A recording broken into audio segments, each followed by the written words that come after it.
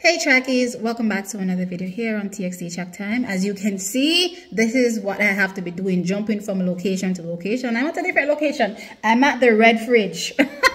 I'll tell you a bit more about the, the Red Fridge later on, but it's an Airbnb owned by my sister. But yeah, so I'm jumping from location to location. I was here earlier this morning, actually. The Wi-Fi wasn't working and I had to head into the town and here I am back here and finally the Wi-Fi is working. So here we are, right? So I want to touch on the 200 meters and boy, oh boy, this 200 meters is weighing heavily, heavily on my heart. Let's start with the men and the 200 meters. So we had Andrew Hudson line up in the 200 meters there. Um, very competent run by him. He finished second to Andre DeGrasse. Andre DeGrasse ran a 19.98 seconds right, to win. And then Andrew Hudson ran a 20.37 for second and Kendall Williams a 20.52 um, for third. Now, in this race, I thought, you know, uh, Andrew Hudson had a good enough bend, but considering that I know Andre DeGrasse isn't the strongest bend runner, he pretty much comes on in the last 80, you would say, in the race, is where you really see the strong point of Andre DeGrasse. I thought it was, you know, not the best for Andrew, Andrew Hudson to be losing to an Andre DeGrasse coming off the bend. But then again, Andre DeGrasse is the defending Olympic champion, so, I mean, he's an awesome sprinter in his own right. So, with that being said, I, I would say I would have love to see a, a, stronger performance from Andrew Hudson, but still, a second place will take it. 20.37 seconds to Andre DeGrasse is um, 19.98. I thought for um, Andrew Hudson in the final 50, he really lost momentum in that final 50. And, you know, Andre DeGrasse pretty much went away or maintained his speed for longer than Andrew Hudson did, you know, causing him to dip below 20 seconds in the race. So that is what happened in the men's 200 meters. Overall, you know, good. I was looking for something a little bit, I'm not going to lie, but it is what it is. I'll take it, right? Um, let's jump on over to the women's 200 meters now. For me, as y'all know, I thought this would be the clash of the meet, um, based on, you know, the athletes that were lining up. I thought we would definitely get great competition here. And I believed it, the race was definitely living up to expectations, you know, in the early phases of what we were seeing. I was like, okay, this race is doing what I thought it would do. But unfortunately, track is, um, I don't know how to even explain this because at this point, I don't even want to say it's catastrophic. I'm just, you know, praying it's not. But um, it seems as though our worst fears, um, you know, were realized. I did notice before the race, I was like, Shericka Jackson is still wearing that strap, right?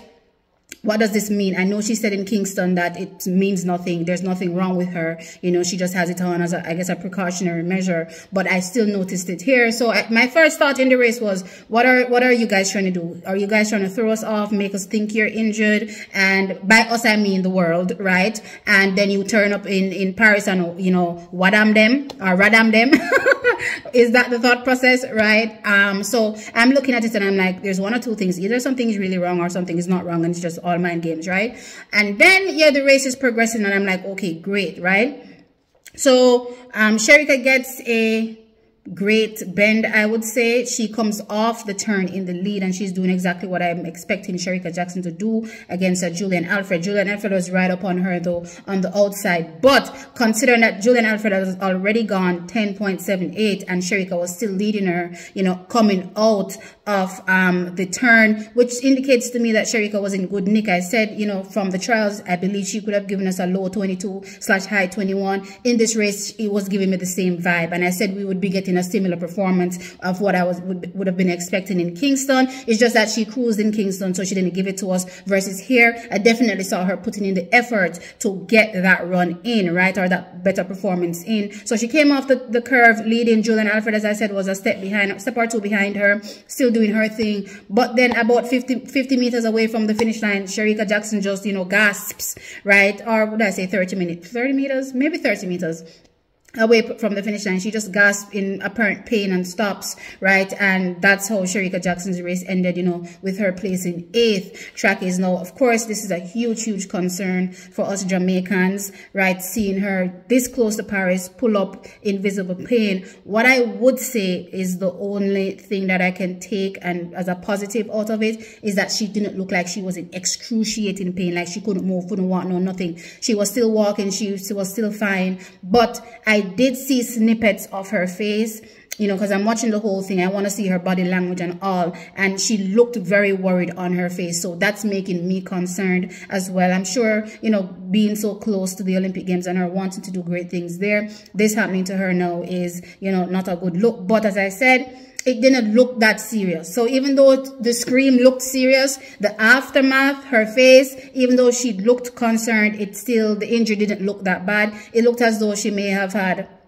I don't want to say a, a strain because strain is bad. Maybe a cramp. Maybe she felt a cramp um, in the race. Maybe that's what happened. And I also noticed as well when they slow mode, uh, slow motioned, you know, what was going on with her. I noticed very importantly that it wasn't the foot that was strapped that she hopped upon. She hopped upon the other leg. So if I'm not mistaken, the left leg is strapped and then she hopped upon the right leg right? So it seems as though something happened to the right leg. But then I was watching her walk off and how she was walking, the left leg seems kind, seemed kind of stiff, right? And I remember during the commentary as well, the commentator was, what they were saying that we haven't been seeing, you know, the, the typical leg lifts from her or knee drives from her. And I have to agree, I've been talking about this. We haven't been seeing her lifting her legs, you know, as what she was typical of doing, you know, in previous years so far this season, right? And it was obviously in this race, even though she was, you know, doing so well before the pull-up, you also didn't get that, you know, I'm dry, that, that kind of high knee lift situation.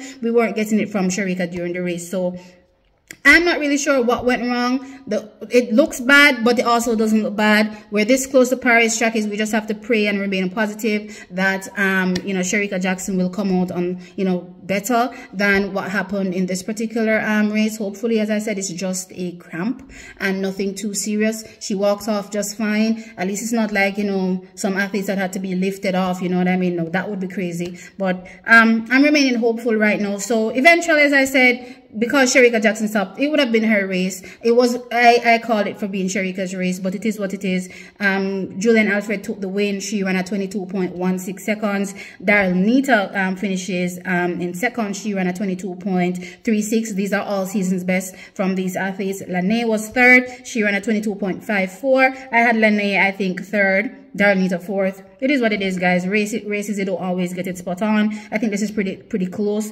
Um, as, as I did indicate as well that I didn't have the full lineup in the first day, so I didn't know the other athletes. Natasha was fourth, rallying back from her 11.19 in the 100, coming back in the 200 and running at 22.95. So good performances from her in both rounds. I'm thinking, and of course, as I said, Shericka Jackson finished eighth, and she ran a 36.29. I, I, when I was writing down this 36.29, I was like, oh my God, I shudder to even, you know, say this out of my mouth that Shericka Jackson finished with a 36.29, but it is what it is. Um, that's the time that the clock registered considering the fact that again she stopped.